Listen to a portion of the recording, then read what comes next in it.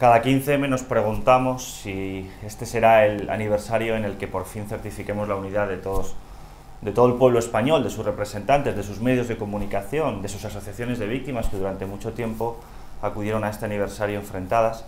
Y podríamos decir que al cumplirse los 12 años de la masacre, este es el aniversario en el que se, va a escenificar esa unidad. Pero más allá de eso, a mí me gustaría resaltar eh, que este, esta fecha no solo es un hito luctuoso en la vida de, las víctimas, de las víctimas mortales y de las víctimas no mortales, sino también es un, es un hecho que cambió la vida, de la, vida pública de España.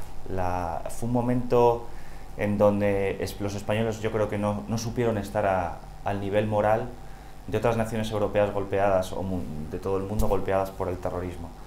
Resucitó algunos de los fantasmas del cainismo más oscuros de nuestra tradición, creo que se manipuló electoralmente, creo que dejó una huella de rencor, aventó unos odios que parecían, si no desaparecidos, durmientes en el seno de la sociedad española y que ha costado mucho ir cicatrizando. Y a día de hoy todavía recuerdo y, intentando analizar los enfoques sobre la masacre, descubro tics que nos devuelven inmediatamente a, esa, a, ese apasionamiento un poco cainita que deberíamos entrar de una vez por, todas. Hay un ensayista que dice, David Reef, que escribió un libro que se titulaba Contra la memoria.